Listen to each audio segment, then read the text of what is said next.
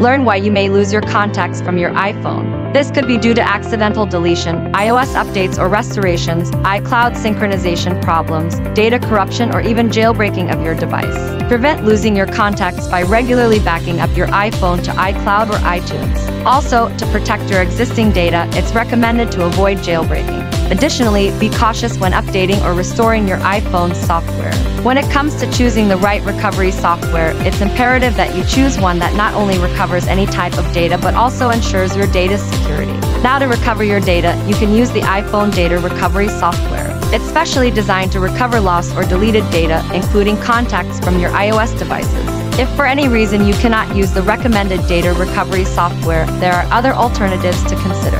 You can restore from iCloud or iTunes backup, check other synced accounts for missing contacts, or reach out to Apple support for help.